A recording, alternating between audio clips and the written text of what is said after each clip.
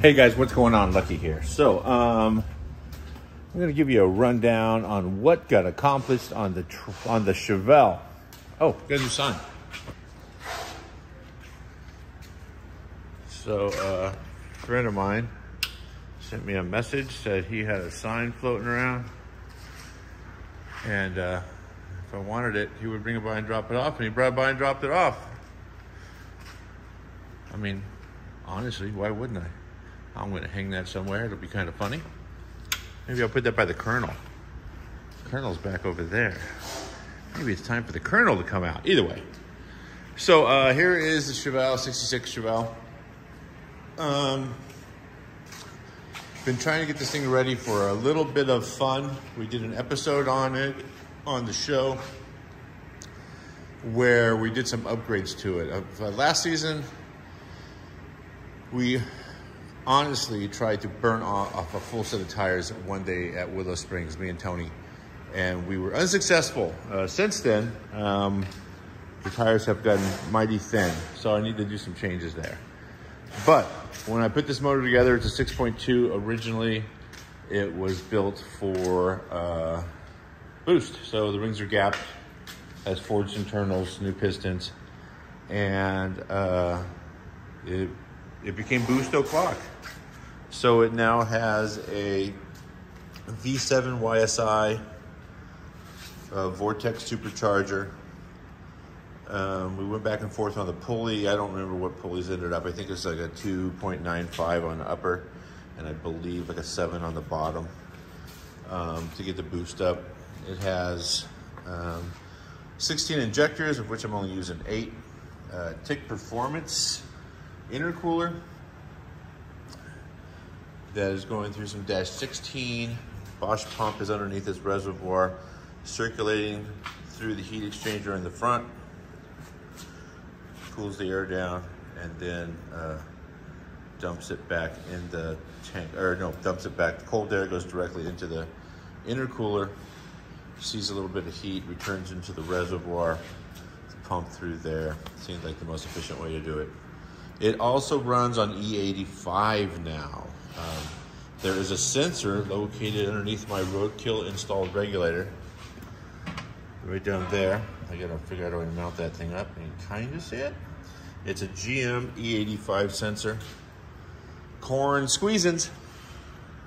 And uh, it samples a little bit of fuel and then determines what percentage of E85 or pump gas uh, what percentage of E85 basically is in the fuel system, at which point it uh, adjusts accordingly, uses the multiple tunes that are in it.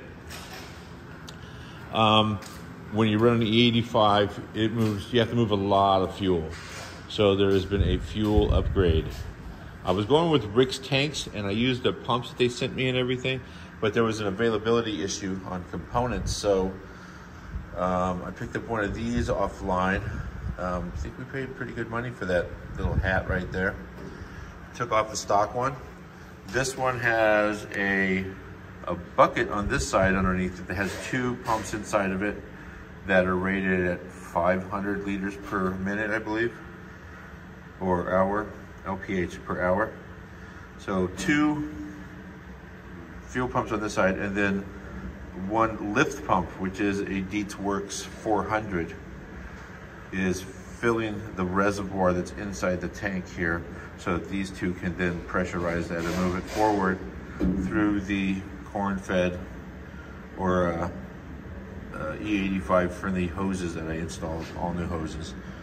Um, it's a good amount of volume that's getting moved, but uh, yeah, it works pretty good. I drove it yesterday. I only got the nine pounds, but it was a fun nine pounds. This thing is kind of cool. It has a fill neck right here, or fill cap right here. O-ringed, sealed, has a rollover valve inside there. So, pretty happy with that. Plus it looks pretty cool. Um, that's a vent right there on the left. That's a return line. I'm gonna put a 90 on that also. And that's the pressure side out. I installed a couple more relays mounted on the side of the battery right there. I got to hook up one power supply and one trigger so that when this thing starts seeing more boost and needs more fuel, the ECU will then turn on the second fuel pump. So that's kind of cool, and I'm just not going to say anything about that right there. It's not actually hooked up just yet, but it's going to be. And uh, what else? Did all that. Let me just, while we're here, Sticks McGann sitting right here. What's up there, Sticks? So I'll fire this thing up.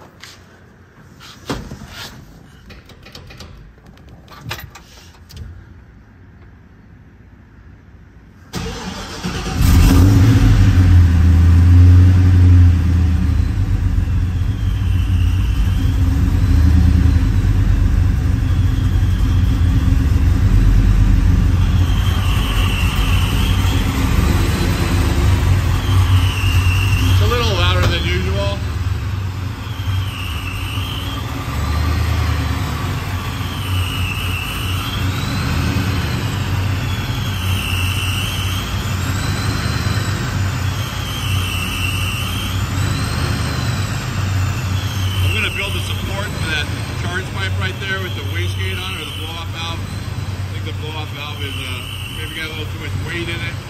And I see the thing moving around just a little bit.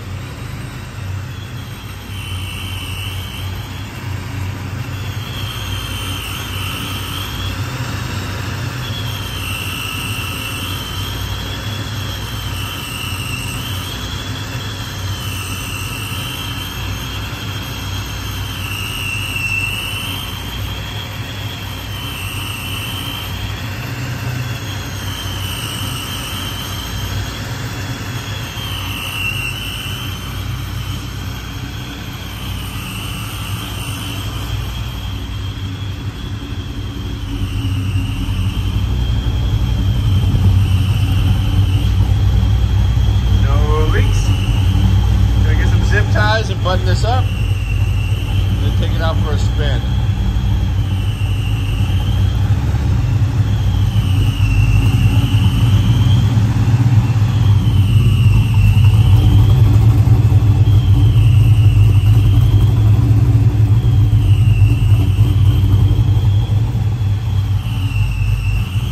All right, you guys, thanks sorry for such a short video. Thanks a lot for checking it out. Don't forget to subscribe share, leave a comment, let me know what you're building, send me some pictures, tag me in them. I'm Mobile Tech Lucky on Instagram, on pretty much all the social media.